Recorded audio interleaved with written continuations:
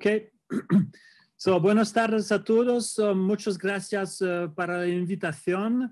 Es un gran honor, pero yo no hablo español, uh, so I will uh, switch to English and would like to thank my friend uh, Ruyo Mayol for the kind introduction. he said way too much nice words to me, and I share the pleasure to be with him in this BJS committee.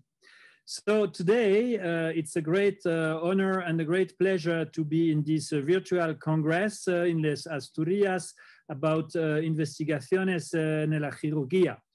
And I will speak from something I really like to is about ERAS, but I would like to start from the surgical technique and try to go beyond and to go to enhance recovery after surgery. This is the wonderful hospital of Lausanne. You see in the back uh, the big lake uh, of Lausanne. Uh, here is the old hospital where Professor César Roux, the man who described first the Roux-en-Y anastomosis, did operate. This is the big hospital where we are working today. And uh, this is our brand new cancer center uh, where we can also work there. So uh, as mentioned before, uh, what is interesting in, in surgery is to speak about strategy. Because what is strategy? By definition, strategy is planning an action. And so you have the surgical strategy, you have the strategy of the global patient management, and you have the entire perioperative strategy.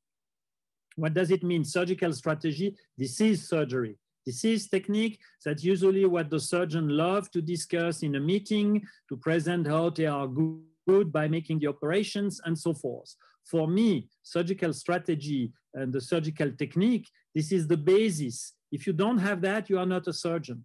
That's why I'm very interested to speak about the strategy of the global patient management. Today, that's multidisciplinary. I will give you an example and of course, I will speak about the perioperative strategy, the entire management around the operation, which is the ERAS. For those who love the technique, the surgical strategy, you have here some surgical instruments. They are 4,000 years old. And if you look well, you will see some of them in the operating room today. Then you can go to the next step, which is the multimodal operating room with robot, MRI, intel artificial intelligence, enhanced uh, virtual reality, and all these elements. And all of this is the body of surgical technique. Yes, about the strategy, this is a patient, 60 years old. You see his liver, all these dark uh, shadows are metastases. And if we look at the liver, we will see that at the entire liver, inclusive the left side, uh, is full of metastasis, but the segment four, the segment four is intact. What's happened to this patient? Well, you see this patient 10 years later, the segment four did grow up, and this patient is free of disease. This was a pure application of strategy and technique. And if we want to go into detail, you see all these elements this patient received about uh, chemotherapy, interventional radiology, and various surgical strategy, and all these in the body of ERAS. That was just to show you the importance of surgical technique and the importance of surgical management and strategy. Now we have a new problem. We have the COVID and the surgery. That's why we have only a virtual meeting, and I have not the pleasure to share a good uh, glass of wine with you after the meeting. And uh, the other problem, which is maybe a little more serious, is that just at the beginning of the pandemic last year, 20 million surgery were postponed. And to, to back up that, you need almost one year. Today, we have at over 50 million surgery which were postponed. And the big question was should or what could the surgeons do? Well, one of the possibility, one of the possibility, not the possibility, is to apply the enhanced recovery after surgery ERAS to the patient. Uh, why? Because if you apply surgery and ERAS, you will decrease the general complication by 20 to 50%, depending on the subspecialty, and you will decrease the loss, uh, the length of stay and the cost. ERAS actually was developed in 2005, 15 years ago, was published by Ken Fearon and Olle Ljungqvist, the two who studied in colorectal with this famous uh, circle of all the elements uh, uh, contributing to do ERAS. Because what was great in ERAS, it is a global surgical strategy, but it is also multidisciplinary. You need a team. You need the surgeon and the anesthetist, but you also need the nurse, you need the administration, you need a leader, and you need an ERAS coordinator, somebody who help all these uh, participants to work together, and all of them are working to the benefit of the patient. ERAS has three phases. You have everything before the operation, it's preoperative. You have everything during the operation, this is intraoperative, and you have the postoperative, which is after the operation. Look at this list, nothing spectacular. All these elements seems pretty basic. We'll go uh, and discuss some of them. But the point of an ERAS protocol is to have all these elements multidisciplinary put together. And when you have everybody working together and sharing common ERAS objectives within the ERAS team, then you will have some more success and you will help your patient. And all of that is based on the communication. So when you have communication, you have an emitter and you have a receptor, and then you communicate together. That's a very important point in the operating room, like in the cockpit of a plane. Within the ERAS, there are some hot topic and there are some not topic. I will just mention some of them which are generally available. You have the fluid restriction for the entire uh, surgery. You have the pain management. When you have surgery, you have pain. You have no nasogastric tube, no drain, uh, with some exception, and you have the early mobilization. And I would like to bring you some of those elements which are more general. This is a patient in an intensive care unit in the US. If you look good, this patient was operated by esophagus, but he is still intubated. And if you look better, this patient has only one leg. This is intensive postoperative mobilization. And you need a lot of collaboration and you need a lot of information of the patient to be able to do so. Then we have the fluid restriction. What is the fluid restriction? It's not this, it's not that, it is this. Why? Because this is poison. And actually there is a lot of data, some of uh, our group, uh, the last one published last year, you have a direct relationship between the IV fluid administration and the postoperative frequency of complication. And the same with the body weight increase. You have a direct relationship. So the more fluid you will give, the more postoperative complication you will have. This is an independent risk factor. And to fight all that and to put in place some of the elements I just showed you before, we have the ERAS guidelines, which have some perioperative pathway, show you the way. You have here uh, some of the elements. It was published uh, some times ago. We have now a little bit more, and uh, we try to promote this internationally. Those ERAS guidelines are available for free on the ERAS website. The big question is what want the surgeons? The surgeons they have a motivation to implement an enhanced recovery program. And the number one, they want to reduce complication. They want also a higher patient satisfaction. And as secondary effect, they want to shorten the length of stay. If you look, Whipple operation, that's a pancreas resection. And traditionally, you have a lot of complication after Whipple procedure, depending on how strict you uh, you report about your complications. And if you look at this number of complications, if you can decrease the complication by a few percent, you reach something very interesting. And for that, we just published uh, in 2020 the guidelines for perioperative care uh, for Whipple procedure. Those are the ERAS recommendation. And uh, the best is I give you some pancreas data. I start with the pancreas because traditionally everybody knows that the pancreas has a lot of postoperative complication. If you look at this older meta-analysis, which was done with the first ERAS guideline we published in 2012, you see that uh, we have in favor of ERAS less complication. The data in my hospital show that we have a decrease of complication in the ERAS uh, pathway for pancreas surgery by 35%, which is a lot. And uh, I would love to show you the data of four international centers, Switzerland, Germany, France, and United States of America, over 400 patients operated by a Whipple procedure. Don't be afraid for all this data. Just look at the complications that you will observe in the majority of cases, a decrease in complication, but you will observe also a decrease in length of stay uh, due to the ERAS pathway in the, uh, in the Whipple procedure. And if I summarize this data of this uh, big uh, study, you see that the complication and length of stay were decreased by roughly 35%. Colorectal is traditionally the first element that was applied uh, for ERAS. So this is an Italian data meta-analysis, long time ago already, but because this was the first one, this was very interesting. And you see that the postoperative complications were decreased by 40% along all this data. One of them is one of my group. And the hospital length of stay was also decreased by 2.3 days. And actually we have a, an increased turnover, so you have more beds available because the patients stay less long in the hospital.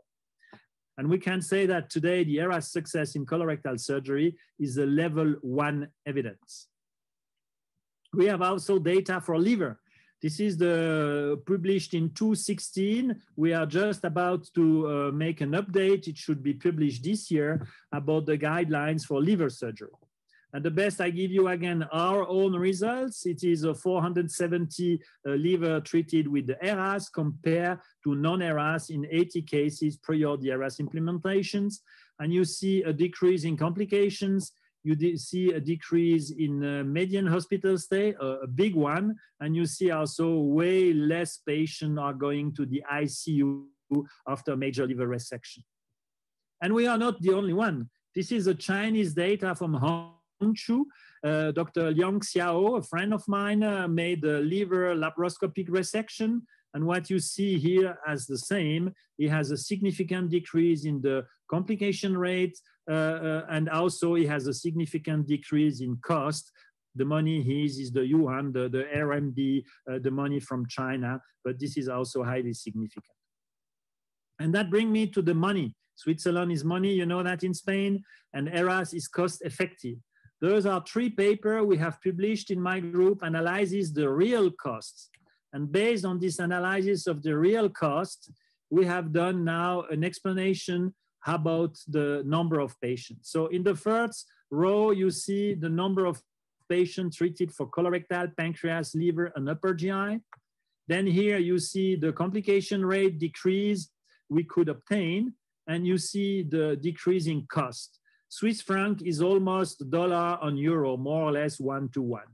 And we have this data only for the colorectal. This is also a significant decrease in working load, in workload for the nurses, which is very, very interesting. Now, if you look at the decrease in money per case and the huge number of patients we treated that way, the saving are over 8 millions, which is a lot of money. And then we can add, we also apply ERAS to lung surgery, to urology, gynecology, and then suddenly it's a lot of money. And if we look how were the cost saving on the right side, you see our uh, finance director of the hospital is very happy. He's very happy because the saving were over 30 million dollar, also Swiss franc or euro, for uh, the application of ERAS which is not bad, uh, provided the ERAS protocol is done adequately. And then something more. We are all struggling with beds in our hospital around the world. And with the ERAS, we spared 16,000 beds, which is also a lot of bed and a good opportunity to develop uh, uh, more, to, to, to have more patients in the hospital.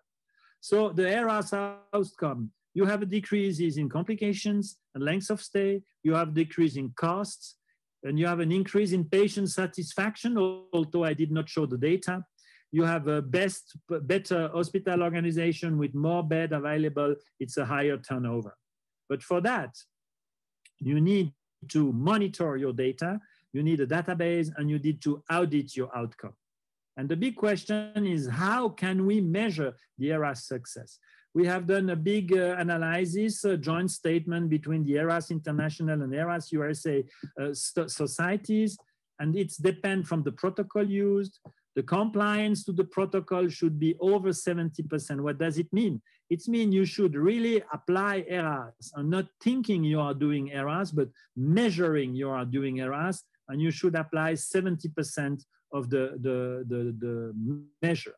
Then you should, decrease, you should have a decrease in length of stay, but this should not be with a higher readmission rate, how it was with, um, with fast track surgery in the past. The readmission rate should stay low and of course, you should have a decrease in complication. And all this element is a way to measure the success of ERAS, but for that, you need the data collection and audit. And for that, we just published a Swiss validation of the enhanced recovery after surgery Swiss database.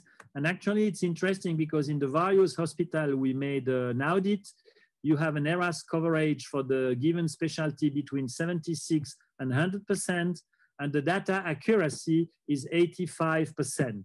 It's not 100%, so there is room for improvement, but before you can say you are doing ERAS, you should demonstrate you do ERAS. If we look the ERAS Society worldwide in 2021, you have 95,000 patients in a lot of institutions in 32 countries around the world. We have them also in Spain. But ERAS is still at the beginning. ERAS today is still in the early adopters, and I would have to that growing to the early majority. And the big question is uh, why don't we have more international data available? Because 100,000 patients is a lot, but worldwide is not that much. Because to implement the real ERAS protocol, you have some challenges because one of the main obstacles to the implementation of ERAS, a lot of people think they do ERAS already because they have some idea about that. But show the protocol, show the compliance to the protocol. Are you really doing what you think you do? Show the complication rate, length of stay, readmission rate. And if you don't have that, you cannot claim you are doing ERAS. So the big question is, you want the real ERAS like this, or you want the ERAS-like or a fake ERAS? This is the big question because they are not equivalent. And of course, with the real ERAS, you will have better outcome. So this is a multimodal pathway. The pathophysiology is to reduce the surgical stress. You will have less morbidity, better recovery, and this should be evidence-based. And this is the real ERAS, and this need a systematic implementation, and that's a piece of work. If you want to implement a real ERAS pathway, you need almost a year to have that in your hospital. That's the point between the, the start, the, the, the, the planning of an ERAS pathway and the success after the implementation. For that, you need to do that systematically with all the team member. You need to do seminar, you need the guidance, you need the data collection to monitor what you are doing and to make an audit of what you are doing. And of course, it's from help. If you have a helpline, if you have some problem, you can have the benefit of people who did ERAS before you. But the point is you need to monitor ERAS, you need to monitor the compliance and the outcome. Because improve adherence to the ERAS protocol is improve outcome. And I would like to show you that with our own data. You see the more you have uh, uh, used, uh, apply the protocol, the less, uh, the shorter the hospital stay, the less the complication and the less the major complication. Why is it so? Because the surgeon don't always see the reality. They claim they are good, they think they are good, but show me your data. And that's a picture that my anesthesiologist gave to me how uh, she see the surgeons. So the importance of audit is to show you that you are really doing what you are doing.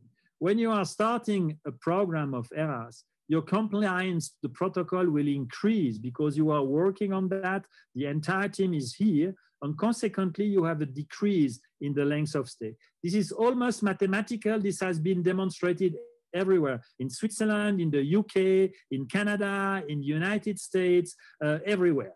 But the problem is when you have reached a lower length of stay, you say, yes, we got it. And you are no longer so cautious. And that's exactly what happened. The compliance to the protocol will decrease and the length of stay will increase again. And this can move award, uh, away when you are working on that. I give you, this is a dashboard of the ERAS uh, uh, audit system. What you see here that the compliance to the protocol, you see over the year, the compliance is increasing and over the year, the length of stay is decreasing. This is data of over 2000 pancreas patients. Uh, it is mathematical. This is the, the, the, demonstration of the scheme I just showed you before. So ERAS audit is a real-time quality control provided you put good data in your database.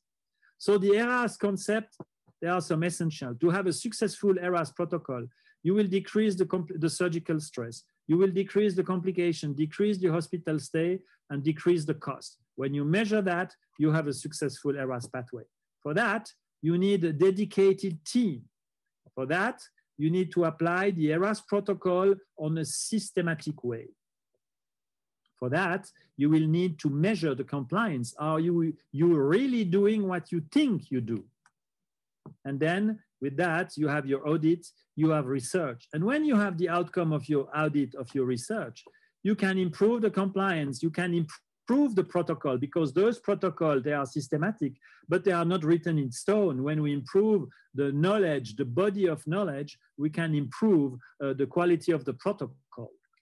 So ERAS is a multidisciplinary work, systematic implementation. You need to audit the compliance and the outcome, and you will decrease its complication, length of stay, and cost. This is very important. Try it, you'll love it, provided you monitor your data. And I would like to show you something now.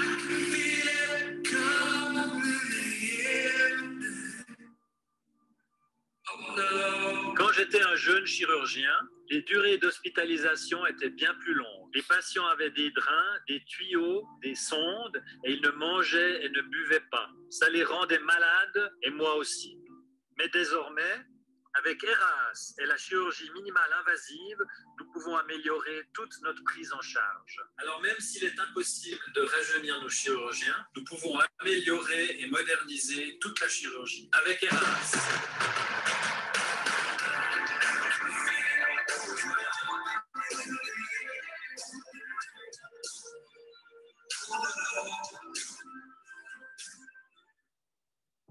Okay, that was it, guys. Thank you very much uh, for your attention. Indeed, you see the World Patrimony of UNESCO. This is uh, there. We are making some wine since almost thousand years. And it was a great pleasure and a great honor to be a part of this meeting. I hope you enjoyed the British uh, Journal Surgery uh, lecture, although it was virtual. And uh, I'm done with this presentation. Thank you very much, everybody.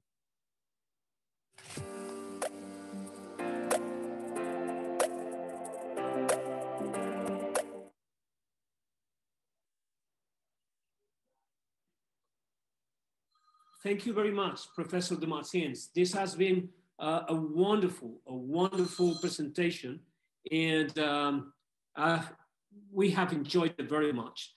This is something that tells us that surgery is more than just surgical technique. It is culture, it's innovation. It's about improving outcomes, measure them, and then making changes in order to increase value for patients. Uh, so thank you very much. And uh, pasamos a continuación a la siguiente mesa de la sesión del BGS sobre centros de formación. Muchas gracias. Muchas gracias.